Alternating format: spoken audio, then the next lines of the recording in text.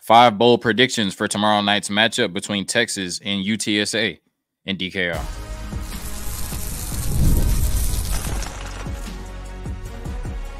You are Locked On Longhorns, your daily podcast on the Texas Longhorns. Part of the Locked On Podcast Network, your team every day. Locked on Longhorns, the show. Jonathan Davis and Lacey Butler, your hosts. Today's episode of Locked on Longhorns brought to you by Game Time. Today's episode brought to you by Game Time. Download the Game Time app, create an account, and use code Locked On College for twenty dollars off your first purchase. On today's episode of Locked On Longhorns, five bold predictions for Texas UTSA. And then in the second and third segment, mailbag slash YouTube comments, uh, getting some of your comments live and direct, reacting to them live and direct on the show. All of that and more on today's episode of Locked On Longhorns, part of the Locked On Podcast Network, your team every day. So obviously it's not Michigan, you know what I mean? But you know, I am really excited for this UTSA game uh, tomorrow night. I will be in the building. So, you know, on the off chance you see me, you know, during the game or, you know, outside the game, wherever, you know, come up to me and holler at me. Uh, I promise I don't bite. you know what I mean? And I love meeting people, of course, love meeting, uh, love meeting, excuse me, uh, you know, Longhorn fans just like me. So, you know, like I said, if you see me at the game, uh, you know, holler at me, yell at me, come up to me. You can even touch me on the shoulder, whatever you need to do. Because, like I said, I love meeting uh, people that just you know love the Texas Longhorns as much as I do. But super excited for this game, first night game of the year. Um, should be an electric environment. Um, and yeah, Texas should beat up on UTSA pretty bad, right? So we should all have a, a, good time at the game if you're going. Five bold predictions for Texas and UTSA tomorrow night. The first one is Texas will run for 250 yards, right, in this game. And that may not even sound bold. It may not sound crazy. When you look at it, Texas ran for 190 yards against Colorado State they came back against Michigan and then ran for 143 yards. So they've run for 333 yards in the season combined in the first two games. I think Texas will eclipse the 250 yard mark in one game tomorrow night against UTSA. When you look at it, we've seen with Steve Sarkisian, right? When the game is in hand, when he feels like, all right, we won the game, he kind of, you know, changes his game plan, right? He kind of goes into a different mode of just run the ball and get out of here with the victory, right? Which is surprising, especially this year because I thought that he kind of would, you know, ride the coattails of Quinn Ewers' Heisman campaign, right? Especially against teams like UTSA, ULM, who you know haven't played yet. We haven't played UTSA yet either, and then Colorado State, right? Like those are the games where if you're trying to win the Heisman, you can really pad your stats and just go out there and throw for 400 yards and five, six touchdowns, right? And really put it on them. But we saw against Colorado State, right? He took him out the game in the middle of the third quarter, and then when the game was in hand against you know Michigan, even though Arch Manning didn't come in the game we kind of went to that run heavy offense, right? So I would imagine that the game gets out of hand early tomorrow, right? And even if Arch Manning comes in and he throws some passes, we're going to run the ball early and often. And I expect in the second half, we'll probably be 75% run to 25% pass, right? Because the game will be out of hand. Like I said, Steve Sarkisian is going to go in that mode of just run the ball and get out of there, right? But I do think we'll be able to run the ball effectively no matter who's in there, right? From the first quarter to the fourth quarter. Jaydon Blue, I don't know if we'll see, you know, a ton of him. Um, but yeah, whoever's in there, we're going to be able to run the ball really effectively just against a, a, a torn down, a, a, worn down, and a, and a UTSA team that should not be on the same field as the University of Texas, right? Or at least shouldn't be competitive with them. So I think they can get to 250 yards in this game, right? Like I said, I think we're going to run the ball early and often. I think in the second half, we're really going to pound it down their throats. If you look at it, I think we'll probably run the ball 40 plus times, right? I expect to see us run the ball 40 plus times. And I think we can run the ball at a high five, you know, kind of yards per carry or six yards per carry plus clip. So if you run it 40 times at six yards per carry, that puts you at 240. You know, even if you run it 40, 41, 42, 45, whatever at high fives, that'll put you at that 240, 250 mark. And I think we see Texas bust out some big runs, right? Not just the, you know, six, seven, eight at a time. I think we see Texas bust out a couple 30, 40, maybe even 50 yard runs, right? And really just hit their head on the goalpost with that big runs and that big offensive line opening up holes for our three headed monster and Jerrick Gibson, uh, Jaydon Blue, and Trey Wisner. So I think Texas can run for 250 yards tomorrow night. And I think they do it. They have their best rushing performance of the season thus far. Number two, true freshman Jerrick Gibson has his first 100 yard rushing game, right? I already talked about how I think Texas will go for over 250 yards, and I think Jerrick Gibson will be the biggest beneficiary of that. You know, Jaydon Blue, we saw him come out of the Michigan game with the ankle injury. You know, he came back in the second half, made some plays, made that great juke on one of the corners, right? I mean, just absolutely left him in the dirt, you know, on his way to, you know, almost scoring. Um, and so I think he'll play. You know, um, I don't think Sark will put too much on his workload, but I think he'll play early on. I think we'll see the bulk of Trey Wisner, right? Trey Wisner will get a ton of carries, a ton of touches in the first quarter, second quarter, maybe even early in the third.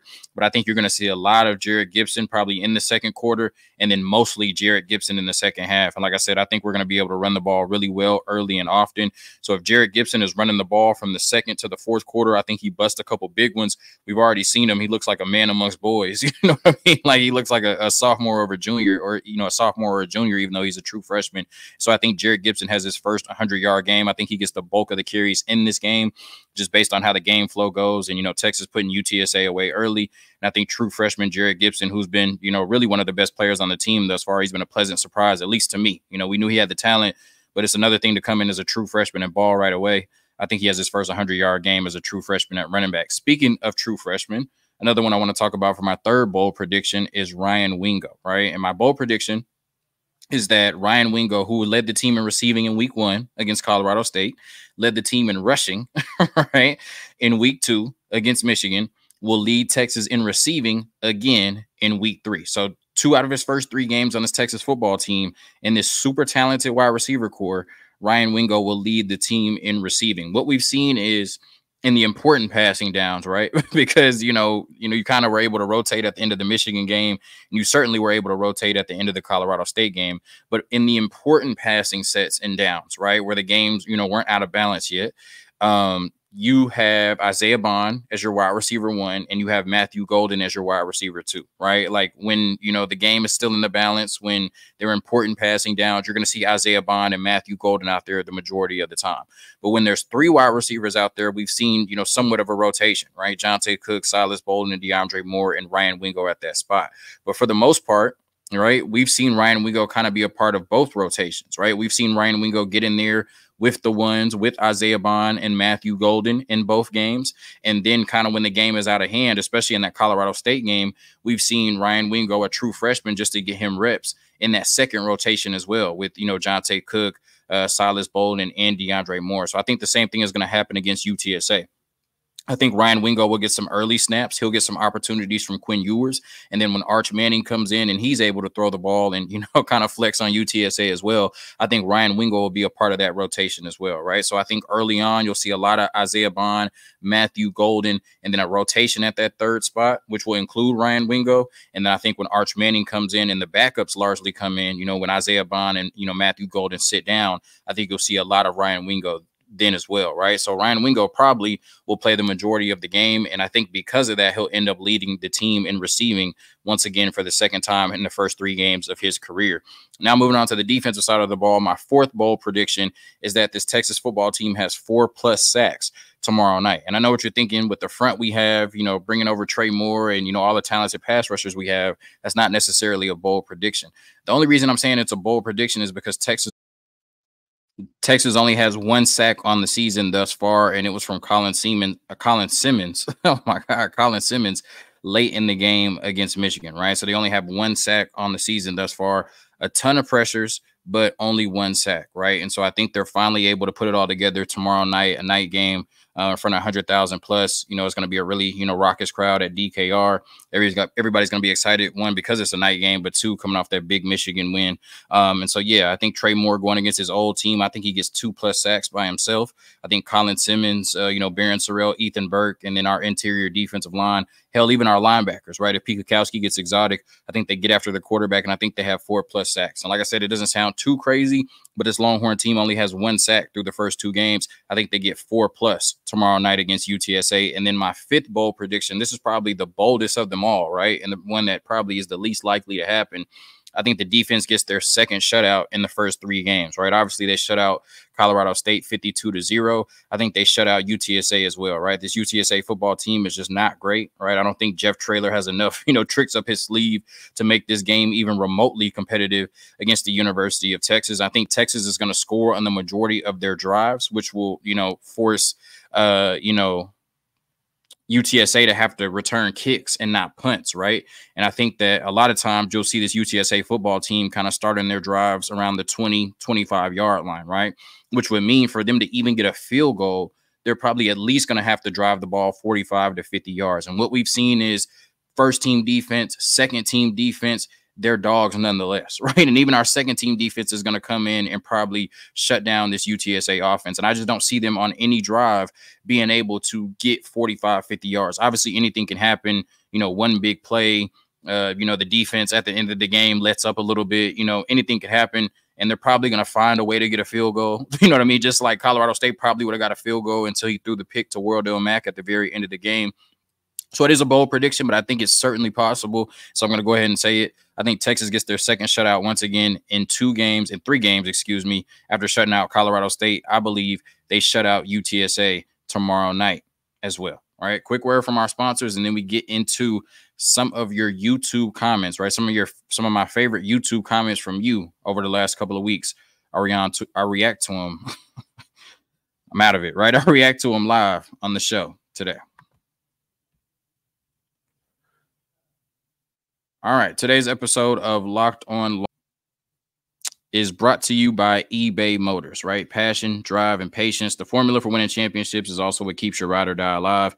eBay Motors has everything you need to maintain your vehicle and level it up to peak performance, superchargers, roof racks, exhaust kits, LED headlights, and more. Whether you're into speed, power, or style, eBay Motors has you covered with over 122 million parts for your number one ride or die. You'll always find exactly what you're looking for. And with eBay Guarantee Fit, your part is guaranteed to fit your ride every time or your money back. Because with eBay Motors, you're burning rubber, not cash. With all the parts you need at the prices you want, it's easy to make your car the MVP and bring home huge wins. Keep your ride or die alive at ebaymotors.com. Eligible items only, exclusions apply. eBay Guaranteed Fit only available to U.S. customers. Also, this episode is brought to you by Factor Meals. Fuel up with Factor's no prep, no mess meals. Meet your wellness goals thanks to the menu of chef crafted meals with options like Calorie Smart, Protein Plus, and Keto. Factor's fresh, never frozen meals are dietitian approved and ready to eat in just two minutes. So, no matter how busy you are, you'll always have time to enjoy nutritious, great tasting meals. Make today the day you kickstart a new healthy routine. What are you waiting for? With 35 different meals and more than 60 add ons to choose from every week, you'll always have new flavors to explore. Crush your wellness goals this fall with dietitian approved meals and ingredients that you can trust. Make your day delicious from breakfast to dessert. Stay fueled with easy, nutritious options. Head to factormeals.com slash locked on college 50 and use code locked on college 50 to get 50% off your first box plus 20% off your next month. That's code locked on college 50 at factormeals.com slash locked on college 50 to get 50% off your first box plus 20% off your next month while your subscription is active. All right, getting into like I said, some of my favorite YouTube comments from you all over the last you know couple weeks since the season started, really over the last three weeks. Uh, the first one is, as always, Hook'em Sark and Quinn, the best quarterback head coach duo, no debate. This is from an episode I did on Tuesday uh, with Max Chadwick from Pro Football Focus, and I asked him, you know, outside of outside of Georgia with you know Kirby Smart and Carson Beck, do you believe that you know Quinn Ewers and Steve Sarkisian are you know the best head coach quarterback duo in college football, right? And he pretty much agreed that you know whether you feel like Sark is the second best coach in college football or whether you feel like Quinn Ewers is the second best quarterback in college football outside of the University of Georgia, there is not a team in the country right now that you can say definitively has a better quarterback and coach than Steve Sarkisian and Quinn Ewers. And that's why Texas is certainly poised to be a national championship contender throughout the season and then when it's all said and done. As far as this comment saying they're the best, hands down, no debate. I don't know if I can go there yet, right? Obviously, you have to give Kirby Smart the difference, you know, over 40 regular season wins in a row, uh, you know, two out of the last three national championships. And I firmly believe if they would have made it to the playoffs, if they would have handled business in the SEC championship, they would have won the Natty three years in a row, right? And they're certainly the favorites to win it right now. Of course, you know, Texas is going to have a lot to say about that by the end of the year. Uh, but I would still put Kirby Smart over Steve Sarkisian right now. And I think that, you know, Carson Beck and Quinn Ewers, from what I've seen, at least right now, is a wash, right? One week Carson Beck looks better, one week Quinn Ewers looks better. So I would still give that deference to the University of Georgia of having the best quarterback and, you know, coaching combo right now with Kirby Smart and Carson Beck. But I certainly think that Steve Sarkisian and Quinn Ewers are number two in the country. And there's no, you know, there's no shame in being number two. There's over 130 FBS programs. I know number two is not as sexy as number one, but like I said, there's 130 teams and everybody can't be the University of Georgia. I certainly put Texas at number two with their quarterback and head coach combo with Steve Sarkisian and Quinn Ewers about the Michigan game. Great win, great game played. Let's be honest. We all see what's been happening the last season and a half. But until we come into Georgia week undefeated and beat an undefeated Georgia team, we're just in the hunt as a top three team. We can't let off the gas. Michigan is a shell of itself.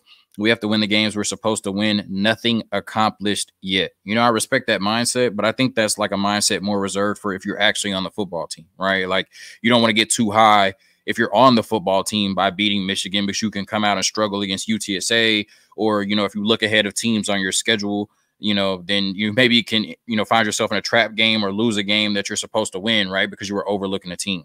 Fans, like you got to live where your feet are, right? You got to appreciate and enjoy the moment. We just beat Michigan, whether you feel like they're a top 10 team or not. That's one of the toughest places to play in college football. And Texas went up there and whooped up on them, right? And so we can't say, oh, well, Michigan, it doesn't mean anything. Like the only game on our schedule that means something is Georgia. Live where your feet are, right? Embrace and enjoy every win. You just went through a decade long period of where Texas football didn't look like Texas football, right? And we can't get to the point now to where we're acting like the Michigan game just didn't mean anything to us, right? Live where your feet are enjoy every win, whether it's Colorado State, Michigan, because we all remember a time period where these wins weren't necessarily a foregone conclusion, right? So live where your feet are, man. That Michigan win was a huge win. Regardless of what you feel about Michigan, that was a huge win. You know what I'm saying? We can't just say Georgia and everybody else, right? Live where your feet are, enjoy every week of the college football season. This Texas performance is exactly what I was hoping to see. I kept hearing people saying Michigan would stop the Texas run, and there was no way Texas could run at that talented D line. My response was always, Have you seen how Sark extends the running game outside the tackles? Texas can run without running directly at them. The plan to run side to side and wear out that D line, then run downhill when they were out of the game was brilliant and effective coaching. That said, while I was confident about that game, I had no idea Texas could dominate Michigan that much. It wasn't even near as close as the score implies. Michigan got dog walked in their own house. It's making me feel much more confident about Georgia at home, and I'm also feeling like oh, you gonna get double dipped Donkey Kong smashed by Texas first by the fake Tennessee UT, and then again by the real UT at Red River. you know, as far as the meat of that, I completely understand.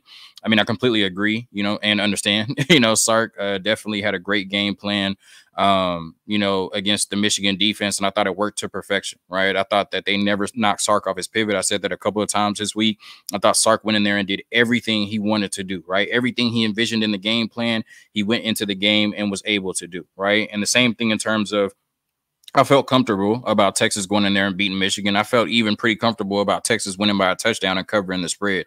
I did not think they would beat them by 19 points. And like he said, 31 to 12 doesn't even really exemplify how, you know, it makes the you know game a lot closer, seem a lot closer than it actually was. If you didn't watch the game and just looked at the box score, right? Like it felt like they beat them by more than 19 points. That game was over in the first half. So uh, yeah, I agree with everything he said. Right? You know, Texas absolutely went in there and dominated them, did exactly what they wanted, and 31-12 does not do what we saw on the field justice. People keep making excuses Sorry, man. Spectrum has, you know, been doing Spectrum themes. So I'm, I'm going to start that one over. People keep making excuses for how much talent Michigan lost to the NFL. Texas lost damn near every key player from last year and still beat their ass. Michigan lost 13 players to the draft. Texas lost 11 players to the draft, right? Two players don't make that much of a difference. I know they lost, you know, the majority of their coaching staff as well. But, you know, when you look at it, right, like Michigan lost 13 players, they look like a completely different football team. Texas lost 11 players. It might be better than they were last year, right? It's just about continuity, recruiting and bringing back the right people at the right positions, right? But you know, just like Quinn Ewers has an Arch Manning coming right after him, you know what I mean? They could have had a you know a JJ McCarthy type quarterback coming right after JJ and so, you know, because of Michigan's failure to recruit at the quarterback position, you now have Davis Warren and Alex Orji, and neither one of them can throw the ball. you know what I mean? So it just comes down to recruiting, right? You know, Michigan didn't make sure they were still great at the most important positions. Texas did. And so they both lost double digit players to the draft. Michigan is not a great team. Texas is one of the best in the country. Would you agree that the first game against Bama, the 2019, the 2010 19 game in 2022, was the turnaround game for the program? You know, I was at that game, you know, probably one of the best moments of my life, even in, a loss, right? Just watching, you know, a 21 point underdog Texas team coming off a five and seven year compete with Alabama like that. But like I said, we still had, you know, I said this in the comments, I should say, but we still had some bad losses that year. You know, Texas Tech, even though Quinn was hurt, uh, we lost to Oklahoma State. That was a very bad loss. We lost to TCU, even though TCU was a top five team in the country. We should have won that game at home. And then, you know, a lot of people feel like we should have beat Michigan, uh, not Michigan, but Washington in the bowl game, right? So, you know, when you look at it, you know, I think that that was a great performance from Texas, but I really truly think the turnaround of the program was when they actually beat Alabama in 2023 this is pretty cool. I didn't know they had a group talk talking about our uh, big SEC roundtable we do every week. We record it Tuesday night. It drops on my channel and every Locked On College channel every Thursday, right? So if you want to get perspective from all of the SEC hosts at one time, check it out every Thursday on this channel for sure.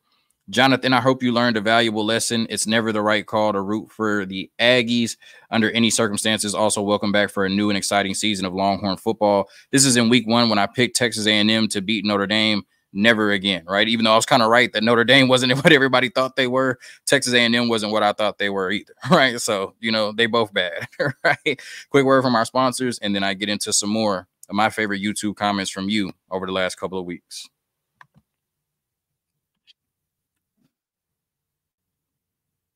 All right, today's episode of Locked On Longhorns also brought to you by LinkedIn Jobs. Right. When you're hiring for your small business, you want to find quality professionals that are right for the role. That's why you have to check out LinkedIn Jobs. LinkedIn Jobs has the tools to help find the right professionals for your team faster and for free. LinkedIn isn't just a job board. LinkedIn helps you hire professionals you can't find anywhere else, even those who aren't actively searching for a new job but might be open to the perfect role. In a given month, over 70% of LinkedIn users don't visit other leading job sites so if you're not looking on LinkedIn, you're looking in the wrong place. On LinkedIn, 86% of small businesses get a qualified candidate within 24 hours. Hire professionals like a professional on LinkedIn. Post your job for free at LinkedIn.com slash locked on college. That's LinkedIn.com slash locked on college. All right, so this was before the season. To his credit, right? This is not after seeing you know the Michigan game and you know changing his tune. Once again, this was before the season. Prediction: undefeated. Calling it right now. Also, we're destroying the Maroon team, the Maroon team, which would be Texas A&M. But based on their performance through the first two weeks, I have no problem calling them the Maroon team, especially since I stuck my neck out for them against Notre Dame, and then they embarrassed me, right? And I have to say now, you know, obviously the Georgia game is a big game, but it's at home. So Texas has somewhat of an advantage there, right? In front of 100,000 of their fans. And, you know, Texas, if they can get past Georgia and obviously Oklahoma the week before that, but if they get past Georgia, that means they got past, you know, Oklahoma. If they get past Georgia undefeated, then yeah, I mean, you're looking at a Texas team that at that point very well should go undefeated. It would be a disappointment if they didn't go undefeated based on the rest of their schedule. So after the Michigan win, the way that they dominated them on the road, undefeated doesn't sound as crazy as it might have before the season. Every single year, this is from a couple of Oklahoma fans that were salty before. Every single year since 2010, Texas media has pushed that their team is God's gift to football. Brought up how talented the recruiting classes have been. They haven't been remotely correct until last season as skeptical as you are of Oklahoma, do you understand why people would have reservations on Texas? Texas hasn't put back to back good seasons together since 08 09. For some reason, Oklahoma fans love looking in the rearview mirror and they don't realize that 2024 has, you know, or 2012 to 2021 has no effect on 2024, right? It just doesn't, right? For Oklahoma and for Texas. Like we're seeing that right now in 4K through the first two weeks of the season, right? So this Oklahoma fan came into the season skeptical of Texas. I should write them back right now and ask them how skeptical they are right now, right? Stop trying to judge Texas in 2024 based on what they did over the last decade. Like it's a different era. It's a different regime at the University of Texas. It's clear as day, right? If you can get that hate out your heart and judge it from a football stance and not i am an Oklahoma fan and I hate Texas stance, you'll see that, right? Just like everything Oklahoma did in the Lincoln Riley era is not translating right now with Brent Venables, right? Like it's that simple. Stop using the old Texas to judge the new Texas when the new Texas is clearly different than the old Texas. Alabama had a down year after their 2021 season and losing several players to the NFL. LSU had a losing record in 2021 after winning the national championship in the 2020 season and lose many players to the NFL. So I agree with John from Locked On Sooners that most teams see a drop off the following year after losing that many players to the NFL. it's not like they lost six, but 11 that is a lot to lose in one year. My response was that Georgia lost 15 in 2022 and then came back and won the national championship. And then, of course, they moved the goalposts and said, You're comparing Georgia to Texas? Ha ha ha ha. But how has Texas looked so far after losing 11 players to the NFL draft? Like, you just get to a certain point with programs like this where, you know what I mean? You don't rebuild, you reload, right? Alabama didn't rebuild, they reloaded. Georgia didn't rebuild, they reloaded, right? Texas didn't rebuild, we reloaded. Here we go with another Oklahoma fan. I want to see what Texas does with Michigan before I crown them a top five team. If it's within a score well into the third quarter, Texas needs to look in the mirror and figure it out. Well, it wasn't. right? You saw what Texas did against Michigan, and it wasn't within the score within the third quarter. I'm sure if I messaged him though and asked him what he thought about Texas, he would say, "I need to see what they do against Georgia." They love kicking the can down the road, right? They love kicking the can down the road, and Oklahoma fans are in shambles because they've been right about Texas for so long, right? They've been right about Texas for so long, right? But now they're wrong, right? And they can't handle it. Like they can't handle it. Now they're wrong. So I really want to message him and say, "What do you think about Texas now?" And I guarantee you, he would say well, I want to see what they do against Georgia, right? After saying, I want to see what they do against Michigan, right? It's crazy. Like I said, they just keep kicking the can down the road. They're going to keep me in wrong.